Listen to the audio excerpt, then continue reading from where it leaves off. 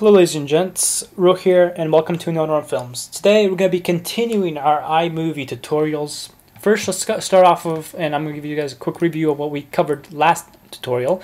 Um, last tutorial we covered picture-in-picture. -picture. As you can see here we have an, one video inside of another. That way when you play it, you'll see two videos playing in the same one and it's good for annotations at the end of your video. So be sure to check that out. I might have an annotation, annotation on the screen to take you to that video, but be sure to check out the previous episodes and show you further and why my layout's different than yours and, and additional items like that. But for this episode, we're going to be coloring.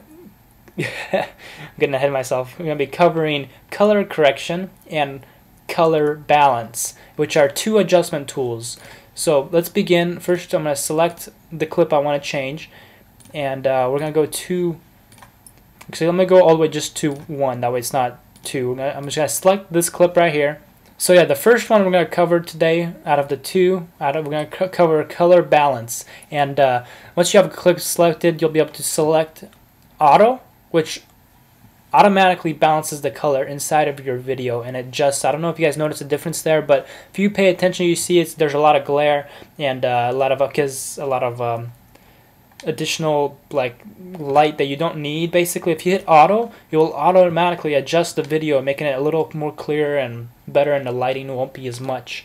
Then you can do match color which uh, if you have a second clip here you can match the color of that clip. Let's say you er, video recorded a video earlier earlier in the day and uh, you then you recorded another video that was like during lunchtime and you wanted to match the color of both videos you just select the color with that and then you bring it to this and it'll have it it'll it'll match the color with the the video you chose from which is a pretty cool feature um, honestly you guys I don't use these features often because I honestly just like to leave it basic but if you're making like a movie or a, a cool film or a skit sometimes you'll end up using color balance because you want to make it look at more professional.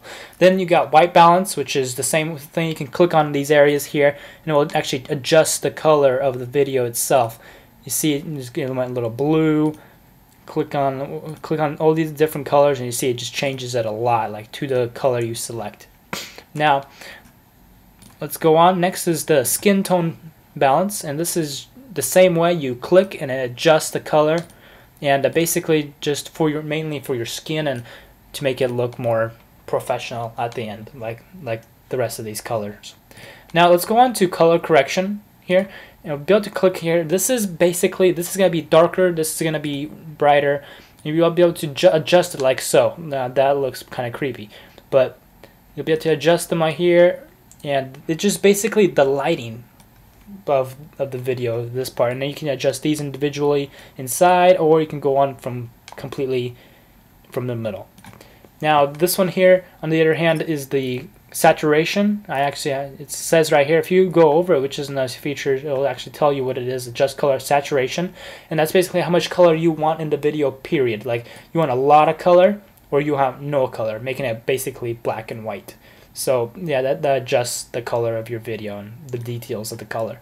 Now this is the temperature, and uh, you'll be able to actually, you see it goes bluer, like as in it looks makes it look a little colder, and then you got a little bit warmer there, like with the sun more bulging out and of that sort. But yeah, that's about it for the colors and color correction and color balance, you guys. If you have any questions, be sure to leave a comment below, and I'll be sure to get back to you as soon as possible. Thank you guys for watching this tutorial. Catch you guys next tutorial.